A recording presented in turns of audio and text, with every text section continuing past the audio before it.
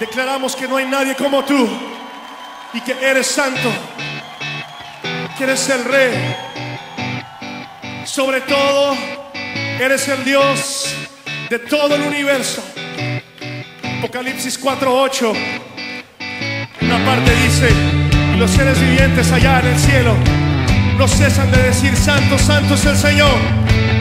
No cesan de decirlo. Los 24 ancianos tiran sus coronas delante de Él. Yo te pregunto esta noche, ¿estás dispuesto a levantar tu mejor adoración y a declarar con todas tus fuerzas que Él es santo? Él es santo. Él es santo.